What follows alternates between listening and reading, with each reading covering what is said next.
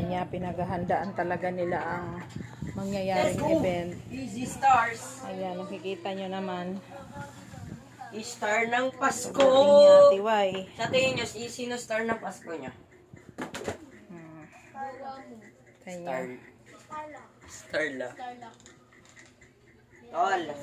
Easy one star. Four star. Four star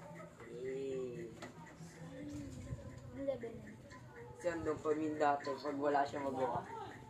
Pag nanonood. Tingin na naman kami.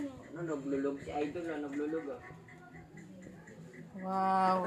Nag-aang ni Lodi ah. Ang ganda talaga niya. Itay.